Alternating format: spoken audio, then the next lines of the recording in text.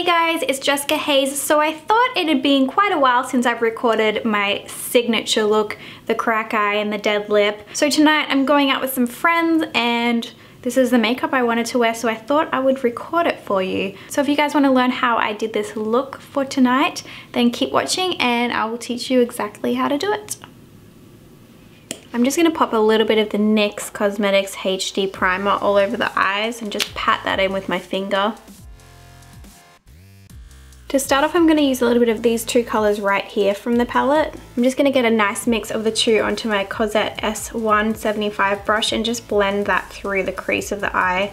This is going to be our transition colour. Now that we have a nice peachy blend, I'm going to take this colour Muse here. And this is on my tiny little Cozzette S185 brush and I'm just going to pop that right into the crease of the eye. Don't worry too much about how blended this is because we'll go back over with a bigger fluffy brush and blend it later. So next I'm going to take this Furless PP-B1 brush with nothing on it and just blend that line. And I'll just go back to that original Cozzette brush that we were using with that transitional colour and just make sure that it's buffed out into nothing. We'll just grab that Muse color again and that Cozzette brush and just build a little more depth through the crease with that red. And then back to that Furless fluffy brush, blend that out as well. Next I'm going to take the Makeup Geek Full Spectrum Liner in Plumeria and just run that underneath the waterline. If you do want to put it inside the waterline, I would wait until the end of the makeup just in case it makes your eyes a little bit teary. If you do it now and it makes your eyes teary, you're never gonna get anything underneath the eyes to stay. And I'm just gonna smudge that in with my pinky. Going back to that pencil brush from Cozzette, I'm gonna take more of that Muse color and then just set that pencil with that Muse color. Next, taking this Cozzette S185 brush, I'm just gonna take a little bit of this color Rebirth and I'm just gonna use that to buff underneath the eyes. This one's gone a little too far underneath, so I'm just gonna take that concealer brush, buff along that line there, just make it a similar shape to this side.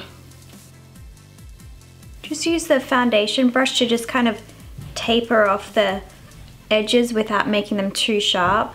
I'm going to take this Cozzette D240 brush and this color right here, Venus, for the lid of the eye. And always use a patting motion when you're depositing color.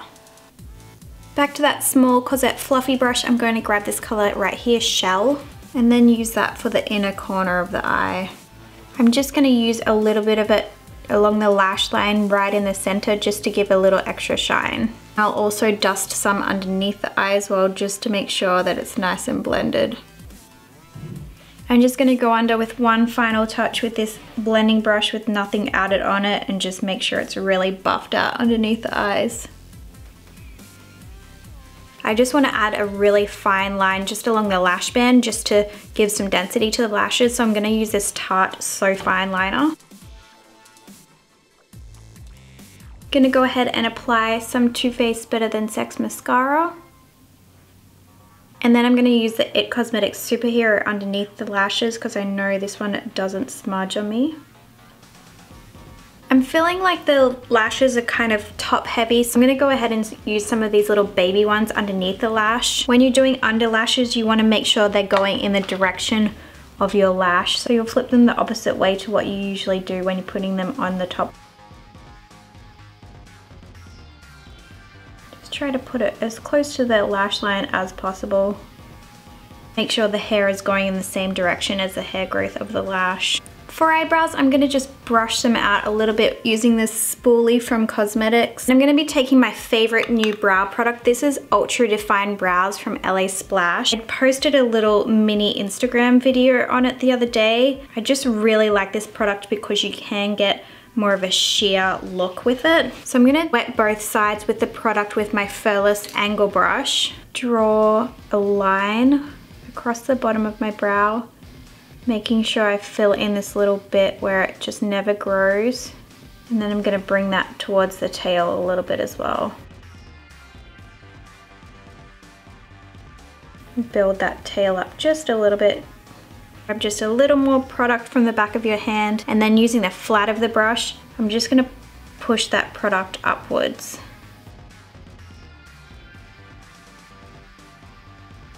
Just gonna use it just to fill in a few of those little gaps towards the arch of the brow. Just gonna take that spoolie with nothing on it again and just comb through the brow just to make sure it's settling in and looking natural. Make sure the front of the brow doesn't look too square or boxy.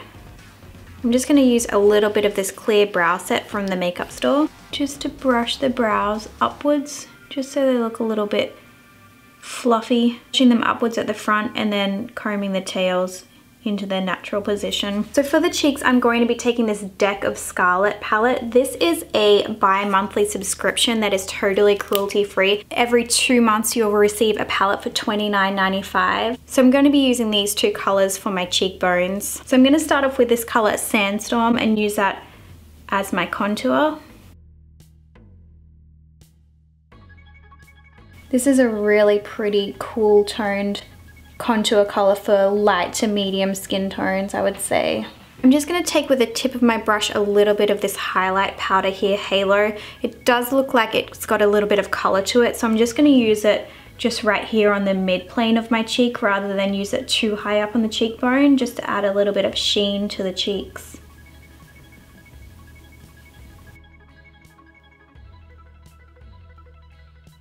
Run that just a little bit just up underneath the brow bone as well.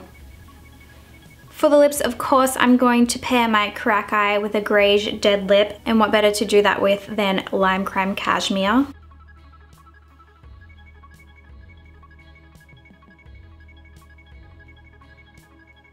I'm going out tonight and I'm feeling kind of fancy, so I'm going to add some of my VP Fashion hair extensions. I got these in a lot thinner density because my hair is so short now, the thinner density isn't as obvious that I'm wearing hair extensions. So I'm gonna pop the two four clip ones just in the back here. I think when I wear my hair extensions too thick and too lush, they look so obvious that it's not my own hair because my hair on top is so fine. These are so, so easy to put in. I'm just gonna add a three clip also to the back.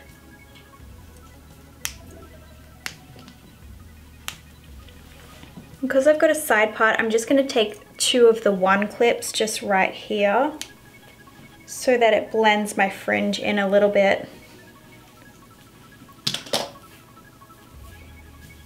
Usually I just take the side where it's a little bit short right there and a little bit of the hair extension, twist it a little bit, then just pop a little bobby pin snug on the hair and the hair extension so that it really grabs onto it and it won't slide out. This side I'll usually just leave like that. My side fringe here is a little longer so it blends into the extensions a little more. For underneath the hair, I take my little mullety thing that I have hanging down and twist it into like a tiny, tiny little knot. This is a trick that I learned off my friend Amber Dean for wearing hair extensions. Twist it in a baby knot at the nape of the neck and just secure it with a bobby pin so that you don't have all those like short bits of hair hanging down like right there. And that's it.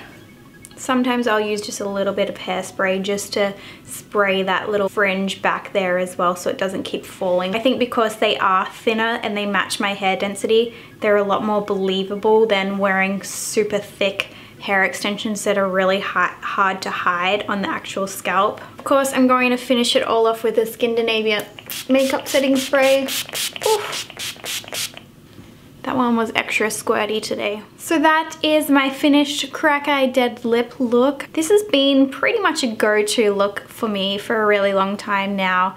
Uh, I did record it a while ago on my YouTube channel and I guess I haven't really done anything super similar to it for a long time. Someone actually commented that I can't remember what they said. It was something like, you always do cool tones. I would like to see you do some warm tones on your channel. channel. And I was like, wow, I default towards warm tones. So I guess I've just been thinking that I do warm tones too much and try to do cool tones to like branch out of my box and not have everyone bored all the time. So obviously the channel was in need of some warmth and what better to do it than with a crack eye look. So tonight I'm going out with some girlfriends and also going to a fundraising bar night to raise money for some dog shelters in Detroit. So that'll be tons of fun and perfect excuse to get dressed up on a weeknight. I hope you guys have enjoyed this signature look from me and maybe I'll do some other crack eye versions using different brands as well seeing as this one I just kind of mainly stuck to Lime Crime. Let me know in the comments below what other brands maybe you want to see me recreate this signature look with and as always guys thank you so much for watching and I will see you next Wednesday for my weekly video. Bye!